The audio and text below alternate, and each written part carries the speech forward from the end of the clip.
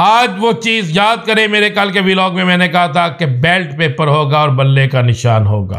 तो खबर यह है कि बल्ला चलेगा और सियासी मुहालफिन ऐसे भागेंगे कि आप सोच नहीं सकते। इमरान खान जेल में रहकर भी खतरा बना हुआ है। ऐसा खतरा जिसने सियासी जमातों की नींदों को हराम कर दिया है। सियासी जमातें अब एक गैर मुल्की फर्म से बकौल उनके। अपने सर्वे कराना शुरू कर दिया कि किस हल्के में किस उम्मीदवार को टिकट दें जो जीत सकता है। वो सियासी जमातें जो आज से चंद दिन पहले तक ये दावे कर रही थी कि हम तो क्लीन स्वीप करेंगे। हमारी तो बहुत बड़ी अक्सरियत है। अब सर्वे पे आ गए खबर आपको दे रहा हूँ, खबर जिस खबर का था इंतज़ार।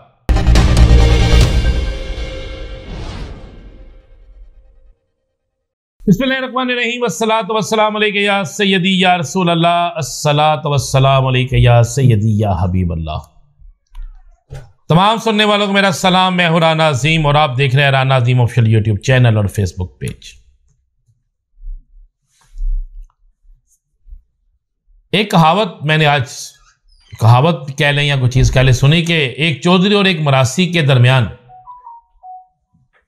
कुश्ती हो जाती है शुरू और चौधरी और मरासी जब कुश्ती के मैदान में उतरते हैं, अचानक चौधरी जो होता है ना, जट, या चौधरी या पहलवान, असर पहलवान उसका पाँव फिसल जाता है वो नीचे गिर जाता है और मरासी जो होता है, वो उसके ऊपर बैठ जाता है। अब पहलवान जो चौधरी नीचे गिरा है, वो नीचे गिरने के बावजूद मुस्कुरा रहा है और उसके चेहरे पर कोई परेशानी नहीं है। और जो ऊपर मरासी बैठा हुआ है, वो फौरी तौर पर रोना शुरू कर देता है, चीखना शुरू कर देता है। वहाँ पे खड़े लोग कहते हैं, ओ भाई, तुमने तो गिरा दिया, एक बहुत बड़े पहलवान को नीचे। तुम रो क्यों रहे हो? तो आगे से कहता है ਭਲਵਾਨ ਮੈਂ ਨਹੀਂ ਸੁੱਟਿਆ ਭਲਵਾਨ ਆਪੇ ਥੱਲੇ ਡਿੱਗ ਪਿਆ ਉੱਤੇ ਮੈਂ ਬਹਿ ਗਿਆ ਹੁਣ ਮੈਂ ਸੋਚਦਾ ਪਿਆ ਕਿ ਉਹਨੇ ਮੈਨੂੰ ਤਿੱਕਾ ਮਾਰਿਆ ਜਾਂ ਜਦੋਂ ਉਹ ਖੜਾ हो गया तो मेरा की बनेगा असल मैदान तो उसका है ये मैं किसी सियासी जमात के लिए नहीं कह रहा और कोई सियासी जमात इसको अपनी तरफ मत ले कि लेकिन हकीकत भी कुछ ऐसी ही है कि इमरान खान जेल में रहकर भी खतरा बना हुआ है ऐसा खतरा जिसने सियासी जमातों की नींदों को हराम कर दिया है। सियासी जमातें अब एक गैर मुल्की फर्म से बकौल उनके अपने सर्वे कराना शुरू कर दिया कि किस हल्के में किस उम्मीदवार को टिकट दें जो जीत सकता है। वो सियासी जमातें जो आज से चंद दिन पहले तक ये दावे कर रही थी कि हम तो क्लीन स्वीप करेंगे, हमारी तो बहुत बड़ी अक्सरियत है। अब सर्वे पे आ गए हैं और दूसरी तरफ़ मुस्लिम लीग नून की तर्जमान कहती हैं मरियम औरंगज़ेब साहबा कि जनाब, अभी हमने कोई उम्मीदवार फाइनल नहीं किया। खबर आपको दे रहा हूँ, खबर जिस खबर का था इंतज़ार। जिसके लिए पूरी पीटीआई तैयार बैठी थी, सोच रही थी क्या होगा। आज वो चीज़ याद करें, मेरे कल के व्लॉग में मैंने कहा था कि बेल्ट पेपर होगा और बल्ले का निशान होगा। तो खबर यह है कि बल्ला चलेगा और सियासी मुहालफिन ऐसे भागेंगे कि आप सोच नहीं सकेंगे। क्योंकि बल्ले का निशान शेर, तीर, कताब, तराजू, अकाब और ट्रैक्टर, ट्राली जो जो भी है निशान, सबके लिए है इंतहाई इंतहाई सबको कर रखा है बल्ले ने परेशान। एक चीज़ तो बड़ी क्लियर होगी, आज बड़ी क्लियर बात हो गई और 12 तारीख को मजीद इस पर मोहर भी लग जाएगी। आज एस के एस आर बाबर एस के बाबर जो बात मुझे उनका नाम इसलिए मैं बार बार सही तरह नहीं लिया जाता, कोई शख्स जो है, हर उस चीज़ में आ जाता है जिस चीज़ में उसको नहीं आना चाहिए। सियासत का मुकाबला सियासत के मैदान में करना चाहिए और आज उसने तो यहाँ तक कह दिया कि तमाम सियासी जमातों के इंट्रा पार्टी इलेक्शन को किन जाँच पड़ताल होनी चाहिए। तो करे ना एक पटिशन दायर। लगाए ना सिर्फ़ पीटीआई पे, ना ना करे, बाकी सियासी जमातों पे भी करे ना। ताकि उसे पता चल सके कि आटे लून का भाव क्या होता है। एक चीज़ हो गई कि बल्ले का निशान बच गया है। आज मुस्तरद होने के बाद के दोबारा इंट्रा पार्टी इलेक्शन करवाए जाएँगे अपील मुस्तरद होने के बाद। यह बात फाइनल हो गई है कि बल्ला चलेगा।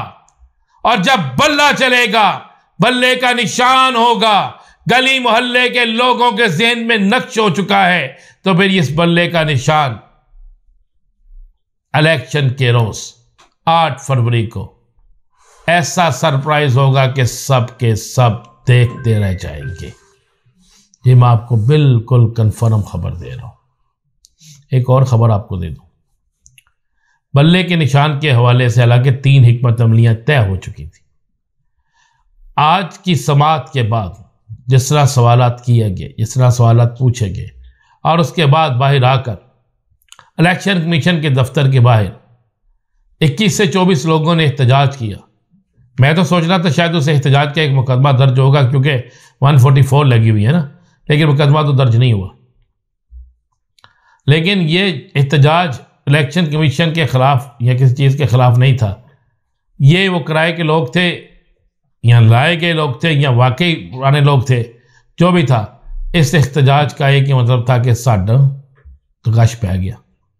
यानी बल्ला चलेगा तो फिर किसी और सियासी जमात का इंतहाबी निशान को वोट ना होने के बराबर पड़ेंगे।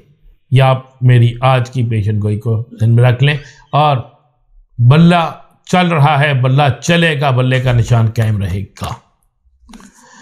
एक बहुत बड़े सियासी लीडर जिसने आज कहा कि सिर्फ़ हुकूमत नहीं एहतसाब भी चाहते हैं। जबकि कल, यानी दो दिन पहले, अदालत के अंदर अपने बेटे के दस्तावेजात को पेश किए गए दस्तावेजात को मानने से इनकार कर दिया उनके वकील ने। वो खुद कतरी खत से लेकर बहुत से खत पेश नहीं कर सके। खुद पचास रुपए के स्टाम्प पर वापस आने का वादा करके वापस नहीं आ सके। और अब वो कह रहे हैं कि एहतसाब, बिल्कुल एहतसाब होना चाहिए। लेकिन फिर एहतसाब ऊपर से लेकर नीचे तक सब का शुरू होना चाहिए। अफसोस हुआ, अब मैं बता रहा हूँ, आपको खबर दे रहा हूँ कि वो बड़ा लीडर, वो बड़े बड़े लीडर का वापसी का प्लान फाइनल हो गया है। वापसी की तैयारियाँ शुरू हो चुकी हैं।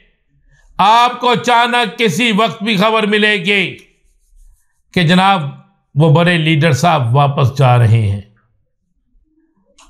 उसमें बहाना इलाज का हो, बहाना चेकअप का हो, या कोई और मामला हो, लेकिन ये आपको मैं खबर दे रहा हूँ कि वापसी की तैयारियाँ शुरू हो गई हैं और इस जिमन में एक नहीं, दो नहीं, तीन मीटिंगें भी हो चुकी हैं। नून लीग और तहरीक इस्तेकाम पाकिस्तान के इतिहाद के हवाले से मैं वाहद बंदा हूँ जिसने सबसे पहले यह बात की थी। उसमें बहुत से लोग कहते थे ऐसा नहीं है। लेकिन अब आपको खबर दे रहा हूँ कि इतिहाद होने जा रहा है। पहली मीटिंग हो गई, दूसरी भी होगी, तीसरी भी हो जाएगी, सीट एडजस्टमेंट होगी। लेकिन मसला यह है कि क्या अब्दुल अलीम खान साहब अगर लाहौर से इलेक्शन लड़ते हैं तो उनके पास दो हल्के हैं, या ख्वाजा साद रफीक साहब वाला हल्का, या या सादक साहब वाला हल्का। उन दोनों में से किस हल्के से इलेक्शन लड़ेंगे, कौन आउट होगा? इसी तरह, अगर जहांगीर तरीन साहब इलेक्शन लड़ते हैं तो फिर बलोच साहब का क्या होगा? और बहुत से लोग हैं, मेरे पास इतने नाम मौजूद हैं कि वहाँ से क्या होगा? आपको खबर आखिर मैं सब ये दे दूँ कि इस इतिहाद के बाद दोनों बड़ी सियासी, दोनों बड़ी तो एक बड़ी सियासी जमात और दूसरी बनने वाली सियासी जमात से बहुत से लोग निकल कर किसी और तरफ़ चले जाएँगे। कहाँ जाएँगे?